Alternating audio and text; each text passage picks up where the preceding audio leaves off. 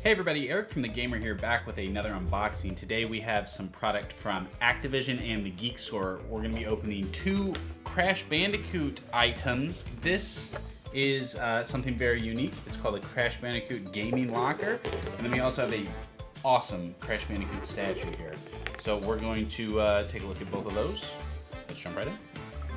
So first up is the Crash Bandicoot Gaming Locker from Geek Store. Uh, I like these a lot. I, I, like the idea of this because it's very useful. Um, statues are cool. Obviously, I collect that kind of stuff, but I like something that I can add uh, to my display that actually uh, has some use. So this is really cool. I, have never seen anything like this. It holds your controllers on the sides, you can put your games in the middle, and you can put your headphones right on top. It's called the Gaming Locker, and I don't know if they do this for other brands or other IPs too. Uh, this Crash Bandicoot one is the first one I've seen.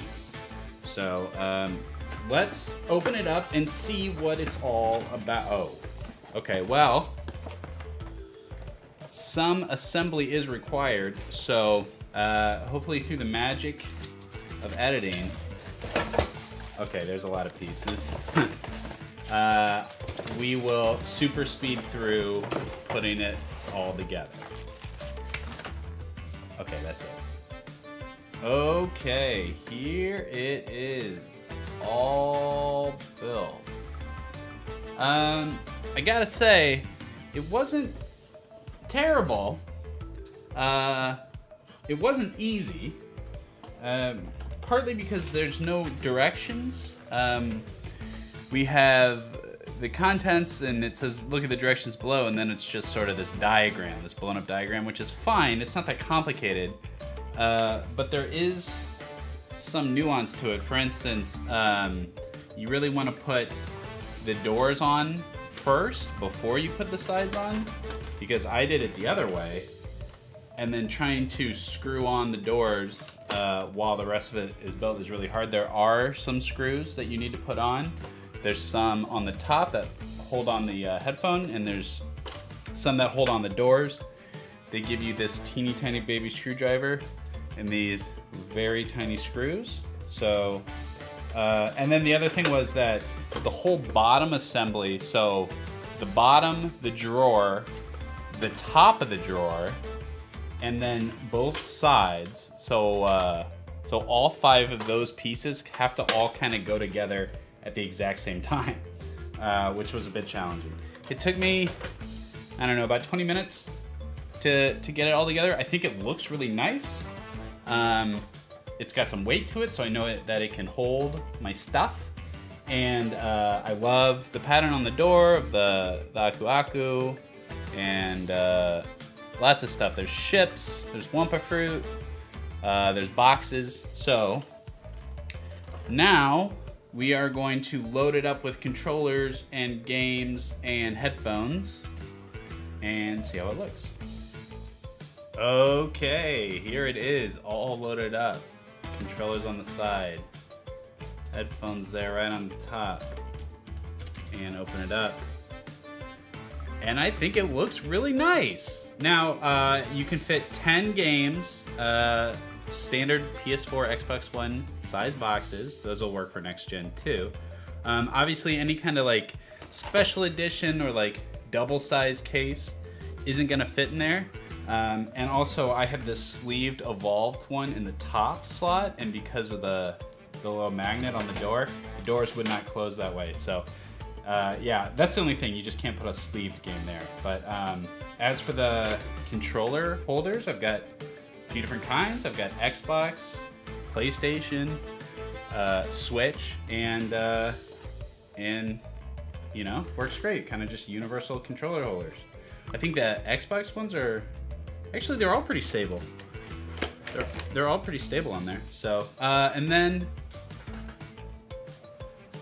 that drawer there for cables and whatnot, the drawer is really stiff. The whole thing moves when I try to open or close it. Maybe I built it wrong. I don't think so, but it's possible. Maybe it'll loosen up over time, but not super worried about the drawer.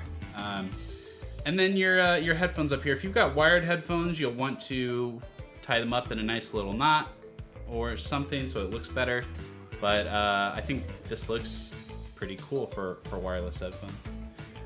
The total package I'm really happy with. It's nice and sturdy, it's stable, it's just something really unique. A nice, unique little locker to put uh, on your desk or under your TV stand or something if you have the space. There it is, the Crash Bandicoot 4 uh, gaming locker from Geek Store. Um, I like that a lot. Really useful, really unique. Let's take a look at the next product. Well, this one's going to be a much more straightforward product, but still just as cool. Let's take a look at this statue from Crash Bandicoot 4.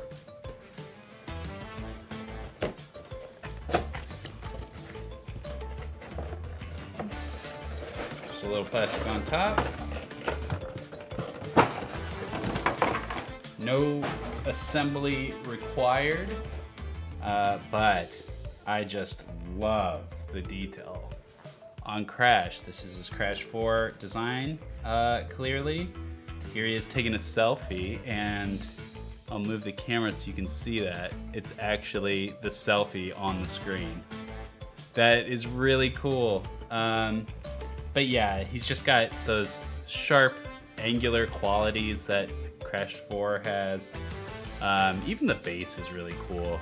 Very stony details. This is just like a really high quality statue. The base is big. The base is quite round. So, um, you know, it's going to take up, uh, you know, a certain amount of space on your shelf that maybe other statues don't. But he's not posable or anything. It's just, he's got a, got a little wobble to him, a little action. Uh, yeah, it just it just looks great. The closer you get, the better the details are. I uh, I love it. I love this little guy. Been a Crash fan my whole life, and it's really nice to see new games and really high quality products like these uh, from the Geek Store. That's gonna do it for this unboxing. Thank you so much for checking it out. And for more Crash 4 content, check out thegamer.com. Uh, links for Geek Store and this product will be down in the description. Thanks.